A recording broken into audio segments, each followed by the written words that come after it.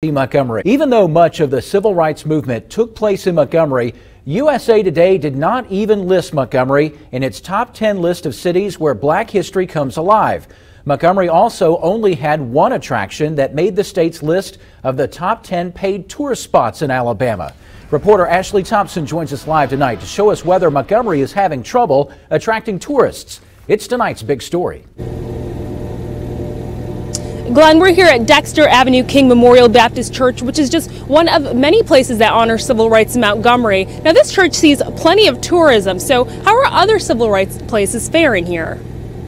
USA Today released a list of the 10 best places where black history comes alive.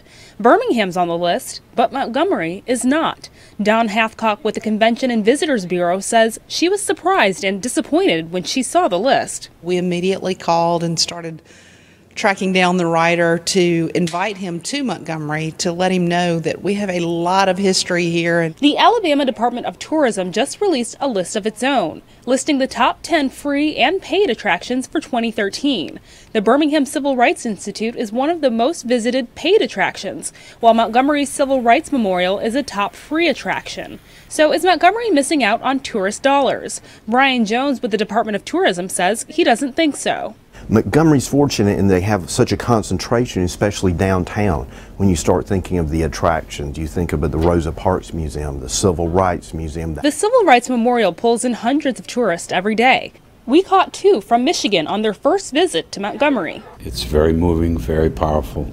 You can't help but cry. I think it's amazing and it's very moving. And although the Civil Rights Memorial isn't making much off of its visitors, operations coordinator Corey Ward says it's not about the money. It's not important here at the center as, as far as you can't put a price, I would say, on, on this type of education that they get here at this center. So, what can Montgomery do to attract more tourists and tourism money? It's hard to say because you know we we've got so much history here, and that is the crux of who we are. So it, it really is important. Now, Montgomery is making money off of the Montgomery Zoo, which came in at number seven on the list of top paid attractions in Alabama, but that is the only local attraction. Glenn? Our zoo was number seven, but by contrast, Birmingham Zoo was number two. All right. Thank you, Ashley Thompson, live tonight from downtown Montgomery. We are told the writer of the USA Today article that did not mention Montgomery as a civil rights hotspot is actually from Birmingham.